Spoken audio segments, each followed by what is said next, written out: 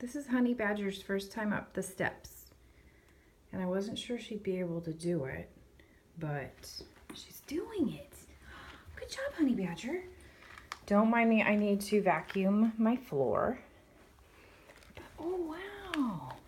Don't look at my floor, I need to clean the house.